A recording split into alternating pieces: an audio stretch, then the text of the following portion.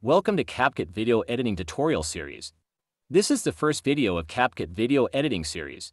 As it is the first video, so today I will teach you the basics of CapCut Video Editing. Let's get start the video.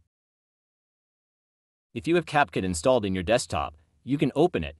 Or if you don't have, you can download it from CapCut official website. It's 100% free. Just go to CapCut website and download it. When you open CapCut, you will see an interface like this. Here you can see Auto Reframe and Create option. These are the CapCut AI feature. I will talk about them in my next videos. For now, let's start by clicking on Create a new project. This is the main interface of CapCut. Here in the top, you can see Media, Audio, Texts, Stickers, Effects, Transitions, Filters, and Adjustment. I will talk about all of them step by step. On the right side, you can see the local, library, and brand assets. In Local, all of your imported file will be available. In Library option, you will find all of CapCut stock files. And in the Brand Assets, you will get all of your uploaded files in CapCut Web Dashboard. Now, let's start video editing by importing files. To import any video or audio file, just click on this import icon, and then select any video from folder. There is another option to import video. Go to a folder where your video is, and just select the video and drag it to CapCut. See, it's very simple to import any files to CapCut. Now, at the bottom, this is the timeline option. To edit any video, we have to add it to here in timeline. To add a video to timeline, just select and drag it to here. Now, here is one video in timeline. If I want to add another video, just do the same thing, select and drag it to timeline. If I want to create a gap between these two video, I will just click on this icon. See, now I can move the video to anywhere. To join the video again, drag it to here, or just click on this icon. It will join the video together like magnet. Now let me show you how to cut video. I want to cut this video in this position. For this, I will put the cursor at this point where I want to cut the video, and then just click on this split icon, or press Ctrl plus B from your keyboard. At this position, I want to add another cut. Again, same step. Just click on split icon or press Ctrl plus B. Now, if you want to delete any part of the video, just select the part you want to delete. Then click on this delete icon or press delete button from keyboard. Very simple. But there is one thing I don't want. When I delete the video, it joining to the next part.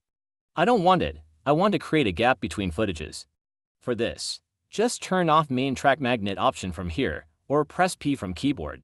Now if I delete this part, it's not joining. I want to add an image in this gap. For this, import an image to CapCut, and then drag it to the timeline.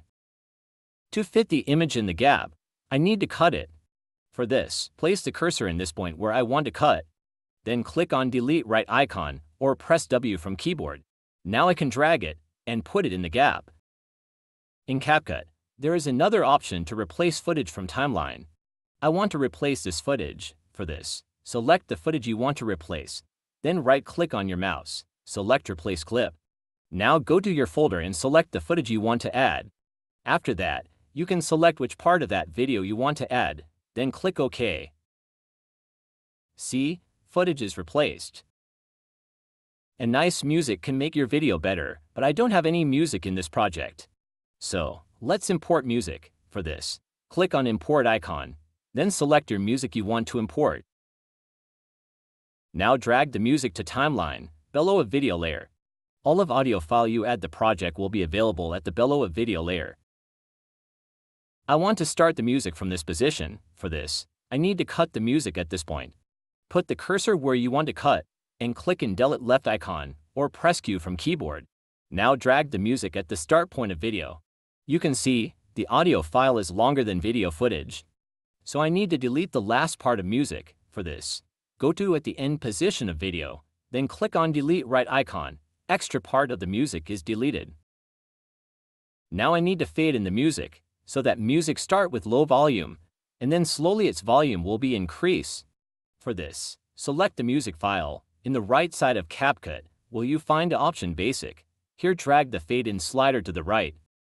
Now at this position, I want to make the music volume 0, for this, select the audio file, then go to volume, create a keyframe here, then forward few frame. Drag the volume slider to the left side, again forward few frame, and drag the slider to previous position. Now if I zoom the timeline, see? At this position, audio volume is 0, and it start again from here.